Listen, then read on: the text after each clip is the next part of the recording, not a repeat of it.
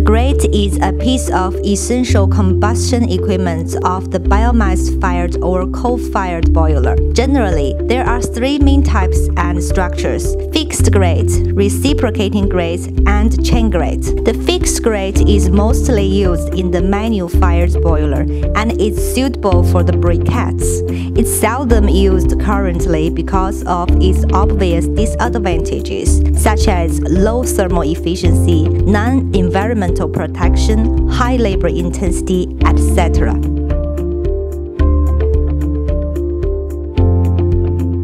The reciprocating grate is suitable for burning solid fuels with high moisture content, such as lignites, wood chips, and other irregular solid fuels. It has lots of advantages, such as good ignition condition, double-sided ignition, wide coal adaptability, and strong cohesiveness. The low-quality coal with a large ash content can also be well burned. It has good smoke suppression while reaching the high combustion heat intensity. Also, the reciprocating grate is environmental friendly with low initial investment.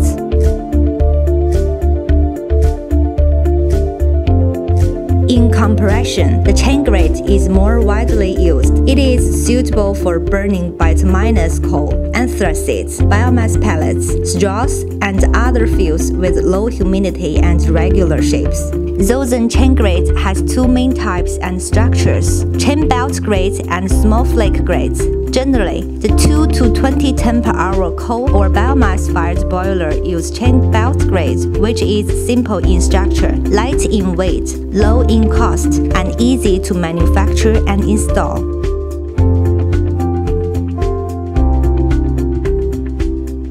20 to 55 ton per hour coal or biomass fired boiler adopts the small flake grate, which has good cooling performance, safe and reliable operation. The whole grate adopts a soft structure, even if the tooth profile of the driving sprocket is slightly irregular. The tightness can be adjusted by itself to keep the meshing well. The grate bars are thin with good cooling conditions and can be replaced without stopping the boiler.